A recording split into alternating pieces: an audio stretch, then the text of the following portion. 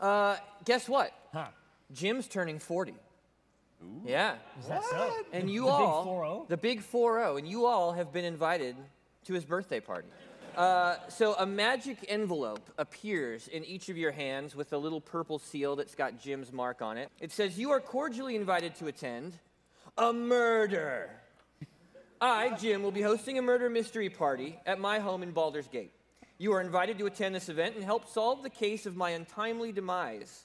We will start the evening with hors d'oeuvres and mingling, followed by a spectacular dinner prepared by my personal chef. After dinner, you will find me dead, and it will be upon you to determine which of my guests is the murderer. I shall endeavor to play the best corpse I can, but you'll have to excuse the occasional chortle as you stumble through my clues. Magically yours, Jim. So you arrive in an alleyway with a dead end, but there's sort of a brick arch in the wall. Uh, the three of you are there with your invitations, and you notice that there's a fourth person there who's arrived at about the same time. I, I sear him. I sear him with scorching light from the heavens. You notice that he also has an invitation. I wait a moment. That's fair. All right, well, you know me. I do? You do. You've met me. You Do I have another sister? is that is that how this works? Uh, at Jim's front door, you are greeted by uh, who you know to be his intern, um, Diz Iberon. He's a young kid, very excitable, wild hair. Oh. This is Diz. You had that with you. Yeah, I always carry Always this. carry Just in case. Oh my God. He loves Jim. He's very excited to see you guys. How long is this young man for this world? I'm so happy you guys are here. Uh, uh, Jim's really excited about this. I'm really excited about this. You're the last ones to arrive. Uh, I'm going to go ahead and lead you in right now. There's going to be hors d'oeuvres, some mingling. You can meet the other guests. It's going to be fantastic. Come on in. Diz leads you into the study. Uh, I'm sorry, not the study, but like his foyer, right? And you can see that there's a couple other guests there. And it's, it's mingling time. You guys are free to approach any of these guests and, uh, and mingle. I'm gonna go sidle up to. Uh, is it is it Mrs. or Miss Albert? It is Ms. That's great news. like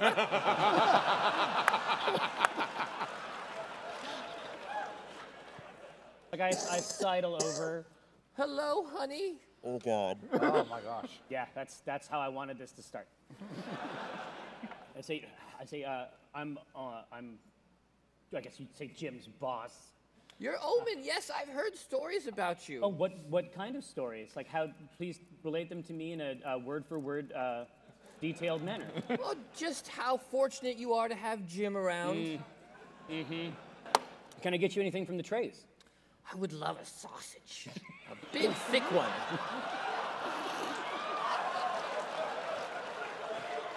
Been a long time. Viari, what are you guys doing at this little shindig? That's hooray. Well, you know, uh, I wasn't, since the only one that we haven't really met so far is. Oh, uh, yes. Kira. Yeah, she's, uh, I, I'll kind of wander over and I'm like, hey, so you want to want to get out of here? Maybe later. I'm, I'm here for the party, and Oh, I'm yeah, excited. yeah. I'm excited to see Jim. It's been a long time. I'm, uh, I'm Viari. I, uh, I, I work with Jim. Oh, very nice to meet you. I, I knew Jim a while ago. We dated for a little bit. It didn't, it didn't work out. Oh. Oh, I. How uh, could it? That's too bad.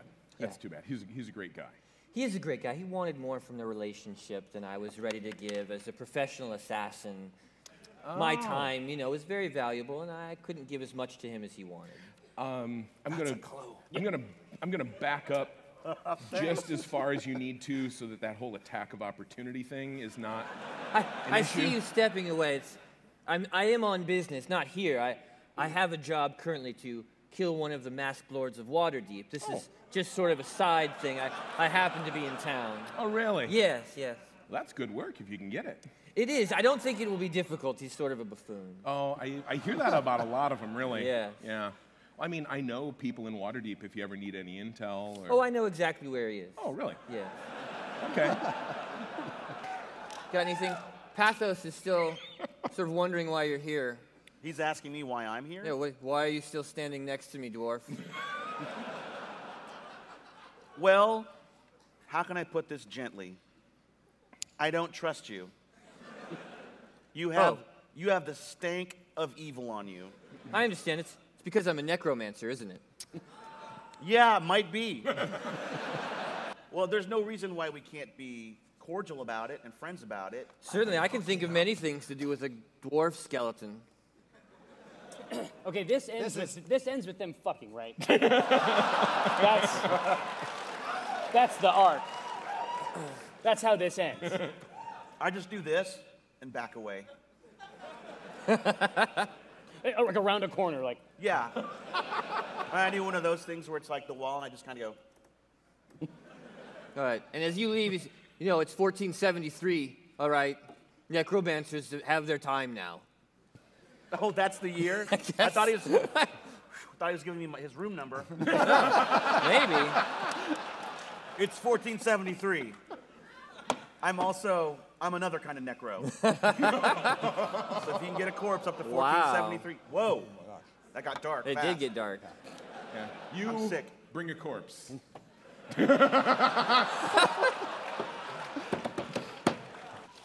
Uh, at this point, you hear Diz, uh, and he says, Glad everyone's getting along so well. I'm really excited, and uh, I'm going to go get Jim. He's in his study. I'll be right back. Thanks, Uh, Jizz. Di- Diz. it's this. Diz. It's this. It's Diz. Mr. Do'Urden. And at that point, uh, Diz takes his leave. That's Diz great is talk. gone, but if you'd like to talk to anybody else in the room, you have a couple minutes. Well, I want to go talk to the pretty girl. Kira. Yeah. So I saunter up to her, and I'm like, I hear you like killing things. It's my job, but I like it. You know what they say: if you do what you love, you never work a day in your life. It's never, it's not, if you love it, it's Right? not It's not work. all. It's not work. I kill a ton of shit all the time. I kill. I kill a ton of shit. In fact, I'm currently hired to kill someone. Who? Well, it's one of the masked lords of Waterdeep. I can't say who. Oh, I know a masked lord of Waterdeep. Oh, you mean you mean your friend Omin? yeah, you want to It's kill not. It's not Omin. Oh. Yeah, you would need to send an assassin to kill Omin. No, you would not. You absolutely would not. No. He might.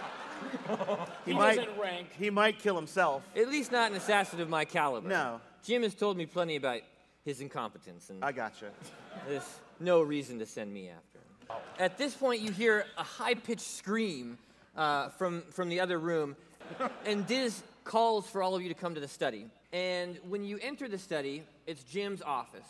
Uh, but the thing you notice is that Jim is laying at his desk, face down, and Diz is standing next to him, and he says, "Oh, guys, Jim's dead. I mean, I mean, he's really dead, like, like for real dead." And he, he lifts up Jim's hand and lets it drop. Yeah. So I, I look at Omin, like, is he really dead? yeah. So, Omin, you're standing next to Jim. You just did your check, and he is totally dead. Yeah. Uh, he's face down on his desk. Um, you can see that there's papers, scrolls scattered around. One of his hands is kind of stretched out. Uh, there's sort of a, it looks like a little mechanical bird on his desk.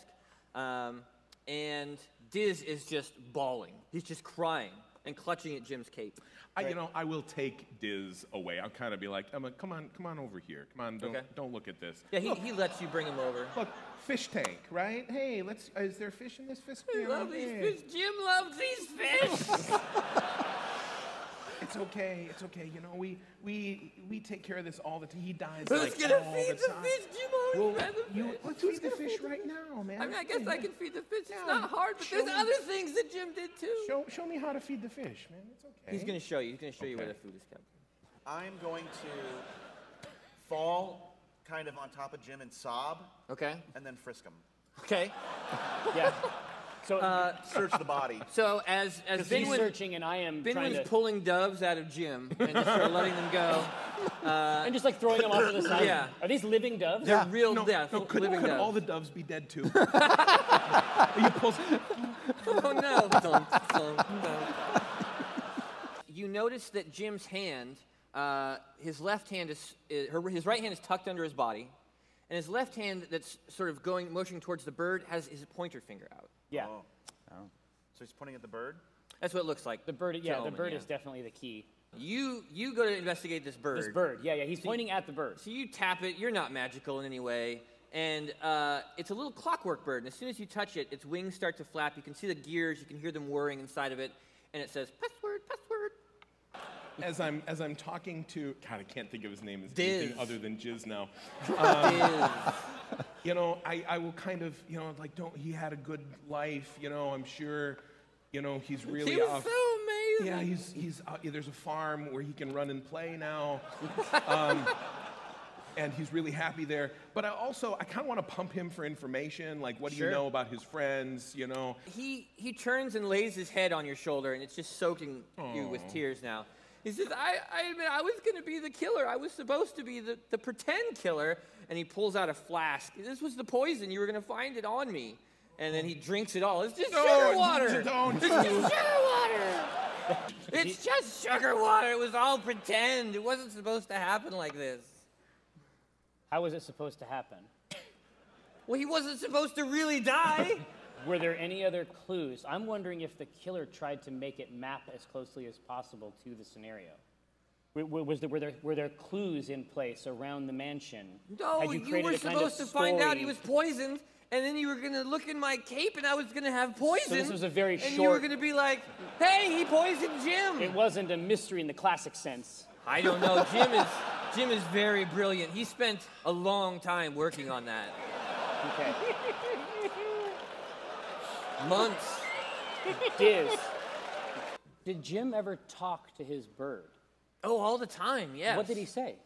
About his day, uh, about how stupid Binwin is, um, about how he saved your life, um, about how much he hates Viari, um, all How- kinds of stuff. How would he greet the bird? Did he call it something? He had a special password, but he always cast silence before he did it. Shit. We can figure this out. I look for a post-it on his desk with with a word written on it. Yeah. Um, Probably just one word, maybe with some capital letters and Special some character, exclamation yeah. points. Yeah, yeah, And, and over it, it says password. yeah. yeah. Uh, you see, you do find that uh, it looks like a torn piece of a scroll, and it says "Magic Mail password uh, Jim Darkmagic." Okay. Okay, But- that's what I was gonna I guess. Is a is a one. Oh. Okay. Actually, I hand that to him and then I move 11 feet away. Okay. Yeah. Hey, That's very specific. Drizzt. 11 feet. I take the bird and I get and I get underneath Jim's desk. okay. and I and I say Joannim dark magic.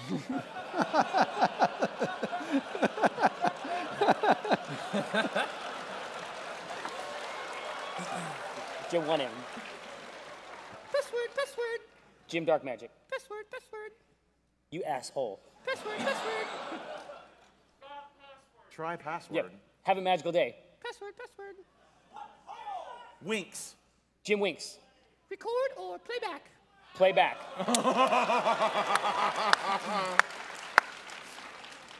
Play back. Uh, so the tiny beak opens up as he sort of flutters up onto your shoulder, and he turns his little Dead beak, clockwork though. head Yeah. to you. And Jim's voice comes out of the bird, and it says, "Hello, bird. Uh, another exciting day. I've received a package from Roger.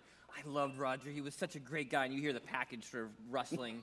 Man, it's been a long time. since- oh my God! and then there's just static.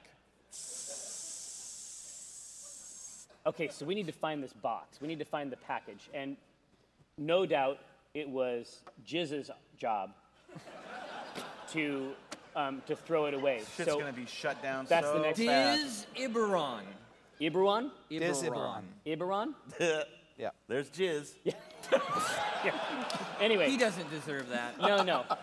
Eh, so, so if we can talk to him about getting a hold of this thing, then we can do it. Now Kira can come in here and do whatever she wants because we actually know what the problem And he cried is. on your shoulder, so your shoulder's all wet with jizz. Yeah. No, Score! What? So I- I can also speak with dead, and that's what I'm going to do. Okay. I know a good trick that'll work.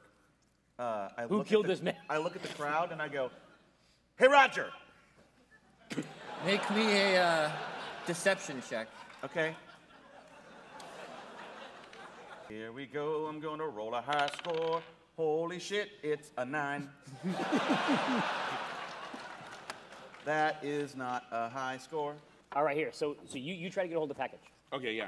Where's the package? Also, I'm gonna I frisk. put it on his desk. Where he's laying, it looks like he would have fallen right on top of it. I mean, it, it was right his, le- there. his left hand was clutching something, right?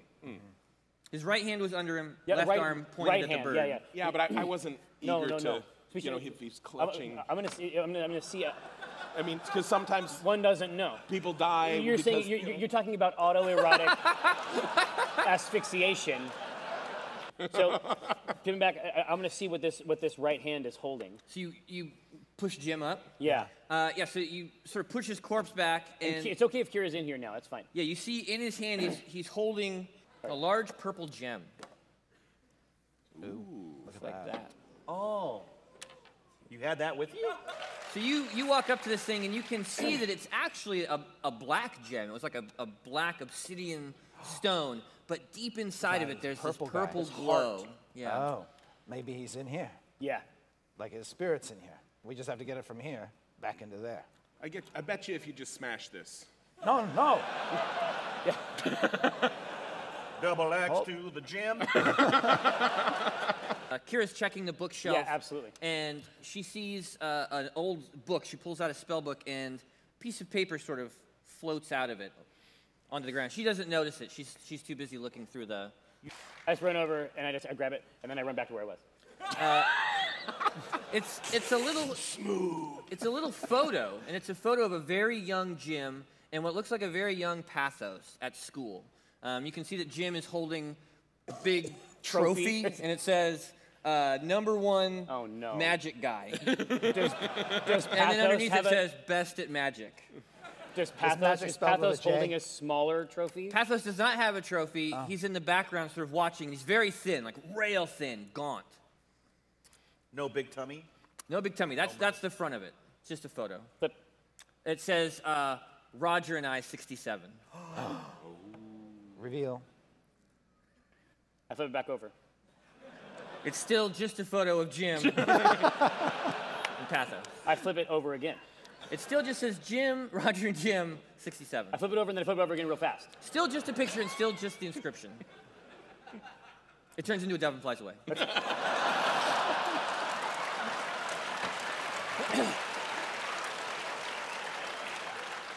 At this point, Ben, when you notice Pathos creeping towards the desk. Yeah, dude, this is necromancy as fuck.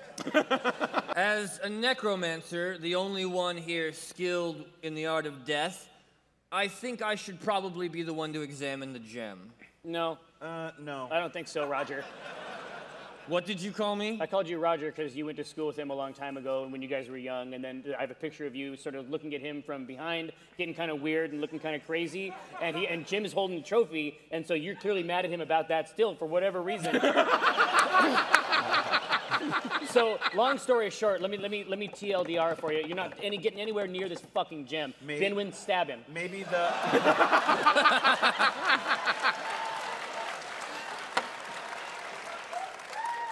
I stab him. You want to you want to attack him? I'll stab him with the dagger. It was a direct order. All right.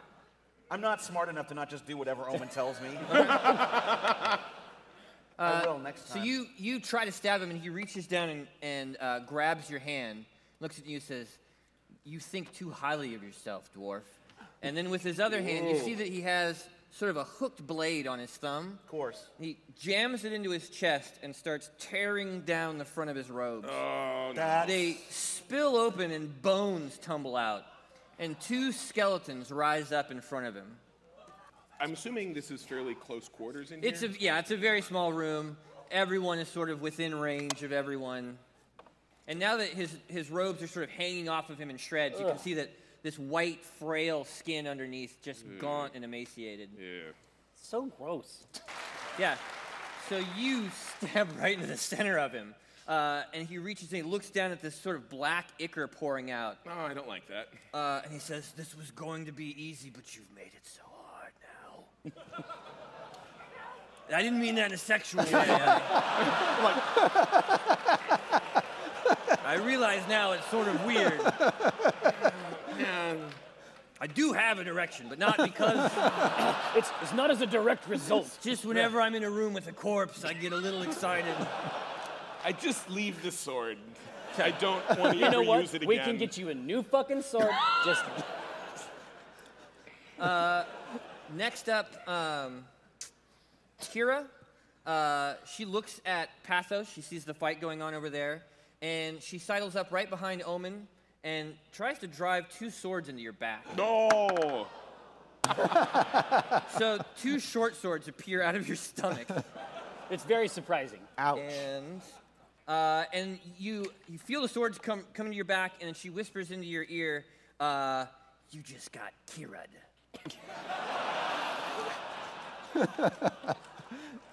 Still working on that. Yeah, yeah. workshopping it. Uh, the, the comment box out front. What did you think? Before you die, what do you think? One to ten. uh, next is, oh, Pathos. Uh, he raises a, a disgusting hand, withered hand at you, Viari, uh, and he shouts, "Ray of sickness!" you fail. You're poisoned now. Uh, you're gonna be poisoned for a round. Okay. And do I take additional poison damage now or? Uh, I think it's at the start of the Start of the round. Start of the And round. scabby boils appear on Yeah, your you're ding just dong. covered in pustules. On your ding dong. Yeah.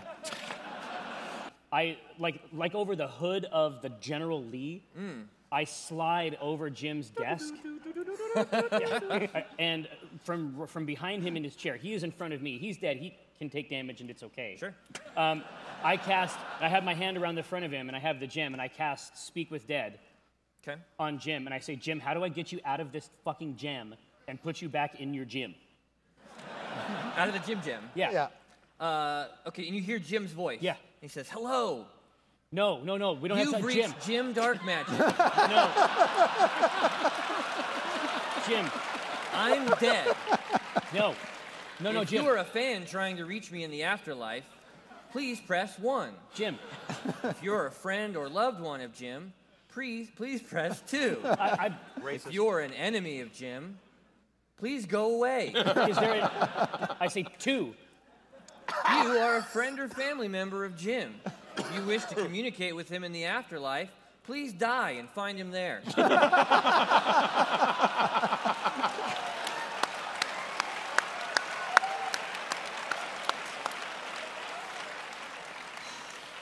That's my turn, right? Okay. Uh. There's no more messages. That's, that's literally what I get when I try to talk to the dead Jim. He doesn't want to be bothered in the afterlife. Why don't I? It's vacation. Yeah. I will draw my scimitars and try to stick them through Kira. Oh, okay. So at, at this point, she's down on one knee. She looks up at you through the blood, her jaw just barely hanging there. Okay. You just got drizzled.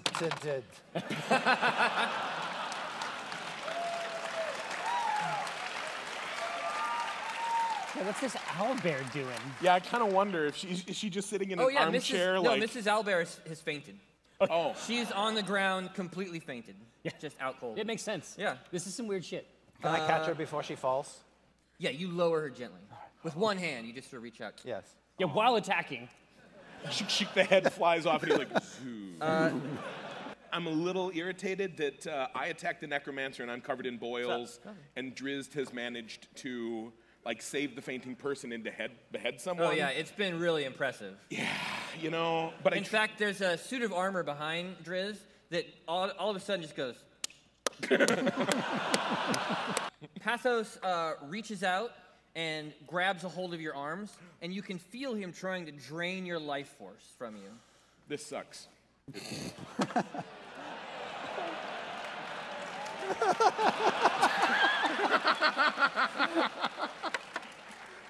Uh, and as he sort of does, you can see this disgusting smile come upon his face. I'm gonna rush at Pathos. Perfect for you. Yeah, yeah, yeah. I, I, I, I bring them all up, like, for, for- I bring them all up for one more hit. Okay. And then it's like, fuck it. I drop them all and I hold the gem out. The power of this, this spell is such that the kickback throws you back across Jim's desk, and you lose the hold of the gem, and it falls to the floor. Oh, god damn it. All right. Can I run up the wall, leap off the aquarium, Yeah. bounce off the picture of Jim Darkmagic, and land on top of the chandelier? I will stow my swords. Okay. I will pull out Taulmaril, the bow given to me by my beloved. And I will take one shot at, at Pathos. Pathos. Pathos. I thought it was going to be me, actually. It's- and it turns into this streak of silver as it slams into his chest. Okay. Uh, yeah, he's down on one knee now, cl- clutching the, the arrow that's stuck in his stomach. And he falls down dead right All on right. the floor. Uh,